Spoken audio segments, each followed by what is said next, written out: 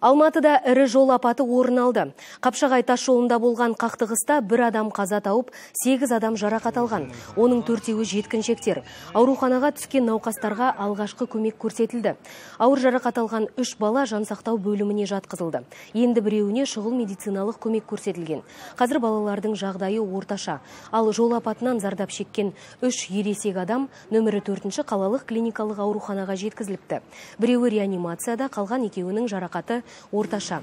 Еске салайық, кеше түнде Қапшағай тас жолында үш көлік түйісіп қалған. Жол апатының себеп салдары анықталып жатыр.